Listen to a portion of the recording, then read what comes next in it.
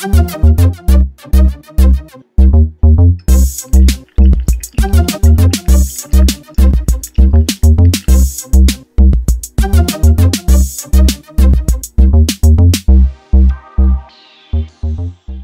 is up guys, Ozwood Gaming here, and today I have a video for you guys on how to raise your KD.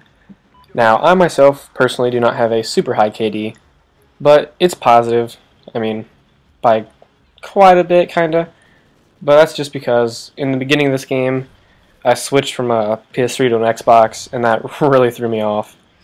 And I was just running around with a knife, being that douchebag, yes, that pisses people off.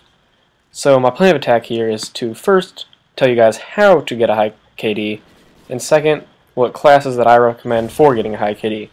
Now, these are my opinions, and so don't like hate on me if like, ooh, that gun sucks.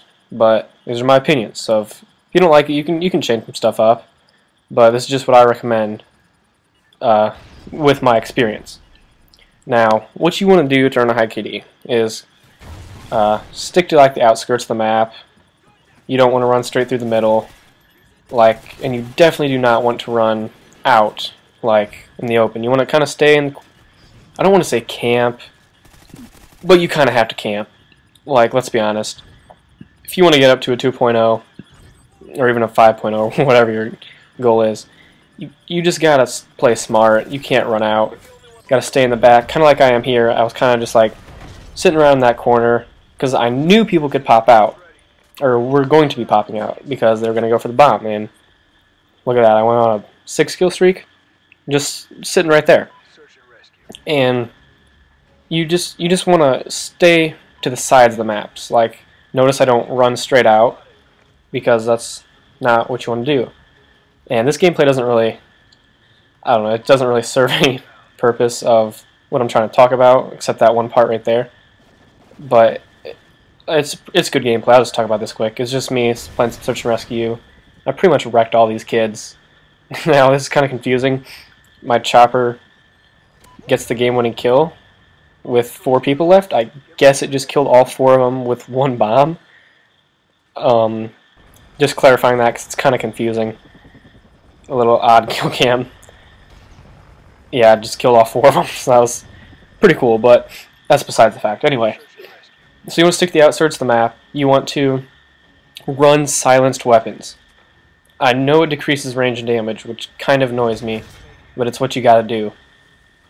Otherwise people will see you on the radar and, I mean, they'll, they'll come for you. I mean, they're gonna come for you anyway, but more people will come for you if you don't have a silenced weapon. And you just want to be off the radar so nobody can, like, hunt you down. And another thing you want to do is play smart. I've uh, kind of briefly touched on this, but if you see, like in Search and Rescue, some tags in the middle of the map, you do not want to run out and be the hero and try to grab all the tags, because chances are somebody's camping them, and chances are you should camp them too, because somebody is going to get them eventually, whether it be your teammate or the other teammates, because that's kind of the goal of the game. And these guys are, I don't know what they're, horrible knife. There's just like three guys sitting there with riot shields. Anyway, the third thing you want to do is choose a game mode you're good at.